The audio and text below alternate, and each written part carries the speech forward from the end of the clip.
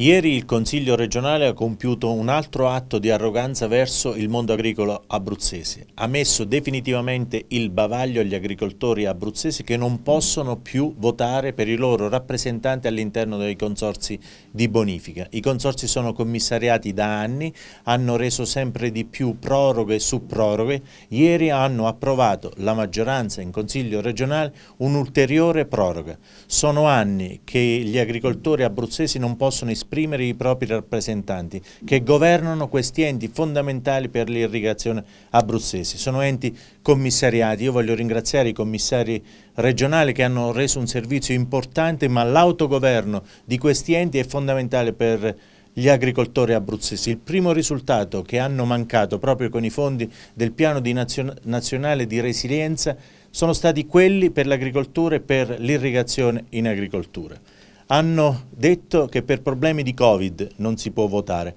Non è vero, è stato votato a Roma, a Bologna, a Milano, abbiamo rinnovato i consigli regionali. Questa è una bugia per continuare a mettere il bavaglio agli agricoltori abruzzesi.